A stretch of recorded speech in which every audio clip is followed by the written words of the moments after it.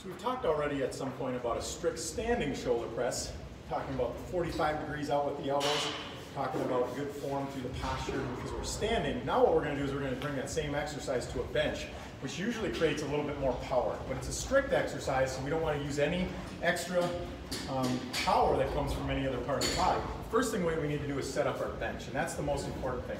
We're gonna need to bring the bar up to a height that's appropriate for us, and each person is gonna be different depending on their height. Then what we need to do is roll the bench into the platform and set it up at the most vertical position that we can find. So for me, I've got it as vertical as I can. I'm gonna push this back because I want it to be right underneath the bar when I get started with it, okay? Then the next thing is, is if I can, I can go ahead and I can raise the seat up just a little bit so I'm not sliding off, okay? So this is a good starting point for me. I would probably want to raise the bar up just a little bit more because it would help me as I address the bar here as well. When we do again the shoulder press, we're going to get underneath that bar. Now we're going to have to do it